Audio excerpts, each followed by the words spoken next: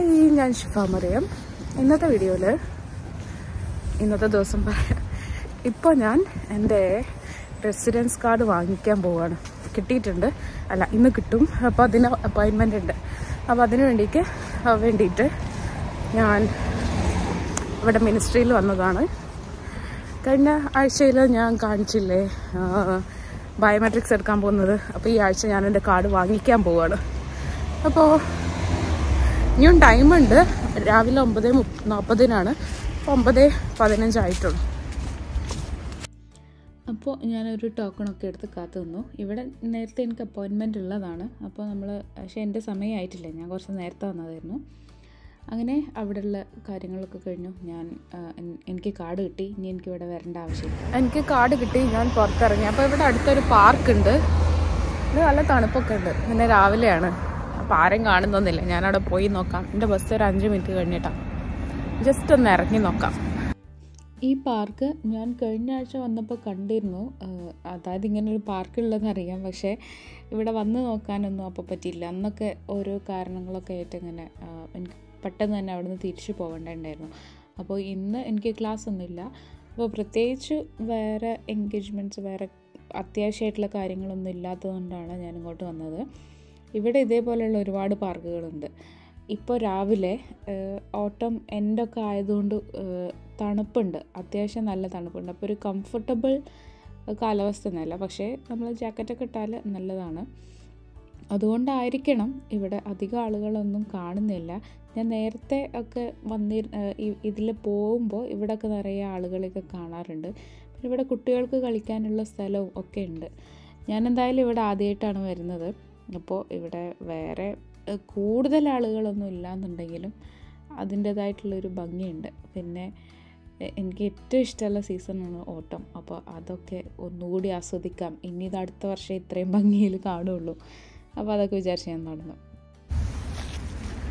ഒരു random working day morning ആയതുകൊണ്ടായിരിക്കണം ഇവിടെ ആരെയും കാണാത്തത്. പക്ഷേ നല്ല രസമുണ്ട്. രസം മീൻസ് ഒരു പ്രത്യേക ഭംഗി. ആരും ഇല്ല. ആളുകൾ വരുന്ന സമയത്ത് പിന്നെ ഇന്ന് രാവിലെ നല്ല തണുപ്പുണ്ട്. അപ്പോൾ ചിലരൊക്കെ ഡോഗിനൊക്കെ ആയിട്ട് നടക്കാൻ വന്നിട്ടുണ്ട്. പിന്നെ ഞാൻ മാത്രമേ ഉള്ളൂ. ഒന്ന് രണ്ട് പേരൊക്കെ. ഇങ്ങനെയുള്ള ഒരുപാട് പാർക്കുകളുണ്ട് ഇവിടെ. അപ്പോൾ ചെറിയ കാറ്റൊക്കെ അടിക്കുമ്പോൾ ഇലകളൊക്കെ വീഴുന്നുണ്ട്. ഓട്ടം ലാസ്റ്റായി അപ്പോൾ ഇനി ഈ ഭംഗി ഉണ്ടാവില്ല.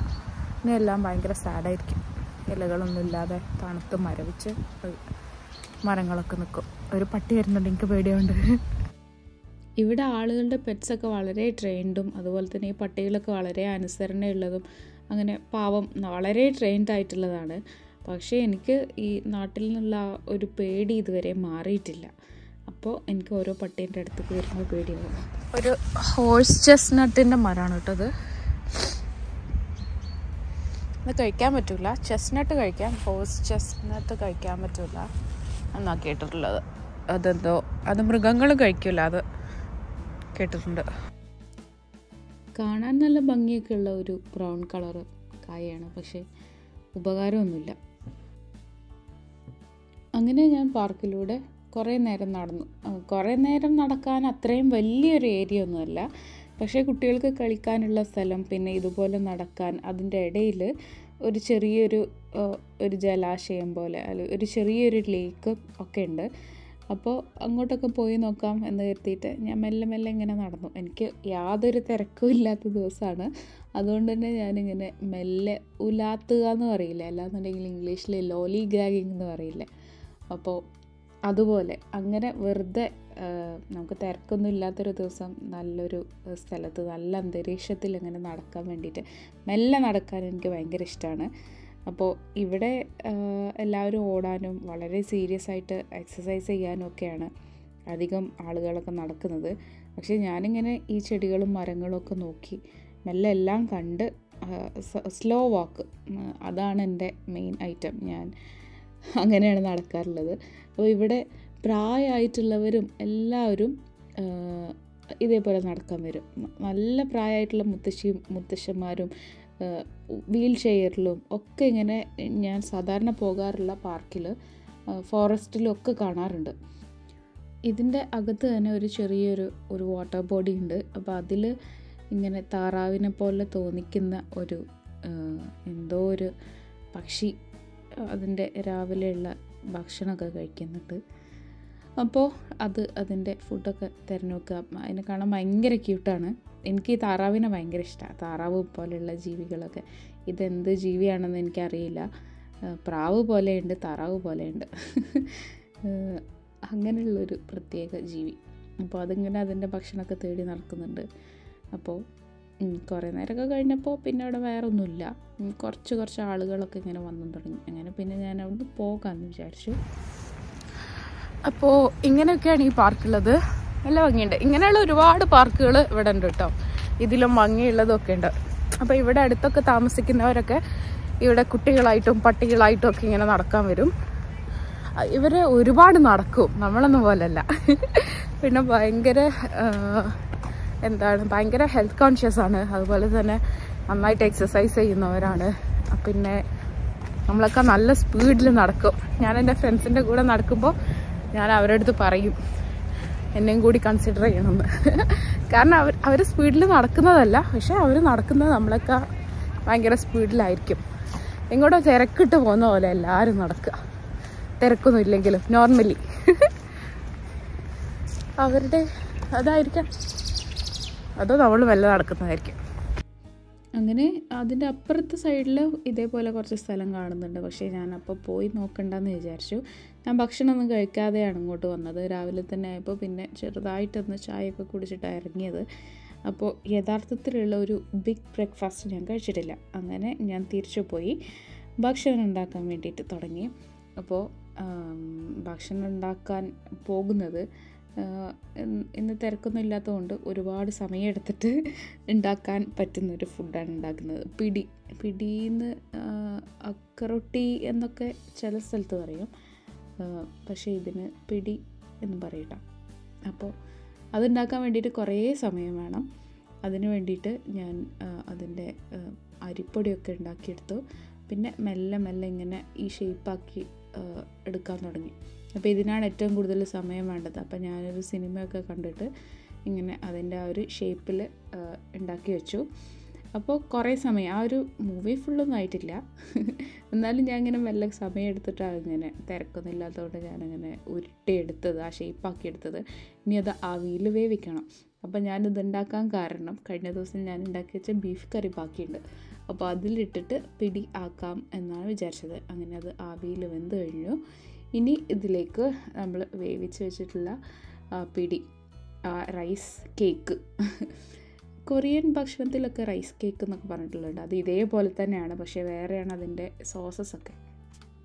അങ്ങനെ ഞാൻ പിടി ഉണ്ടാക്കിയിട്ട് കുറച്ച് പാക്ക് ചെയ്തെടുത്തിട്ടുണ്ട്.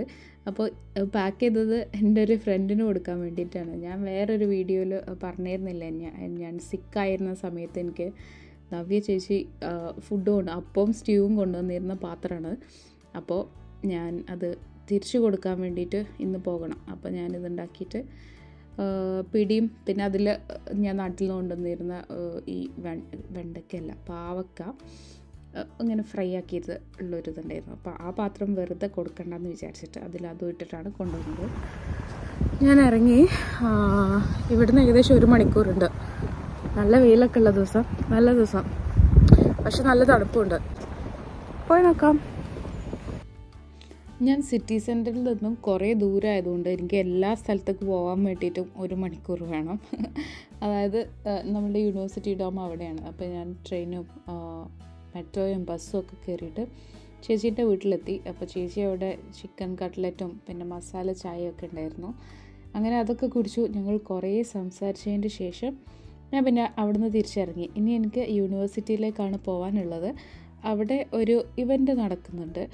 അപ്പോൾ അത് അഞ്ചര മുതൽ ഏഴര വരെയാണ് ആ ഒരു പ്രോഗ്രാം നടക്കുന്ന ഒരു മൈൻഡ്ഫുൾനെസ് വർക്ക്ഷോപ്പ് എന്ന് പറഞ്ഞിട്ടുള്ള ഒരു അങ്ങനെയുള്ള ഒരു ഇവന്റാണ് എന്റെ ഫ്രണ്ട്സ് ആരും ഈ വർക്ക്ഷോപ്പിന് വേണ്ടിയിട്ട് സൈൻ അപ്പ് ചെയ്തിട്ടില്ല. അപ്പോൾ ഞാൻ ഒറ്റയ്ക്കേ ഉള്ളൂ. അപ്പോൾ എന്റെ ഫ്രണ്ട് അറിയുന്നവർ ആരും ഉണ്ടായിരിക്കില്ല അവിടെ.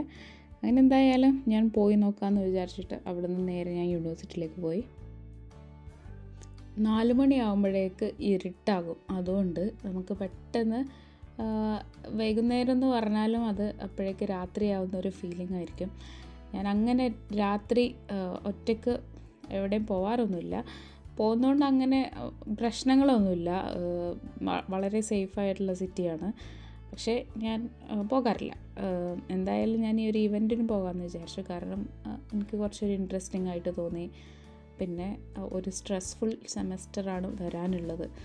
അപ്പോൾ എന്തായാലും കുറച്ച് മൈൻഡ്ഫുൾ ആയിരിക്കാം. ഒന്ന് മൈൻഡൊക്കെ ക്ലിയർ ആയിരിക്കാം. ആക്കിയിരിക്കാം എന്നൊക്കെ വിചാരിച്ചിട്ട് ഞാൻ പോയി.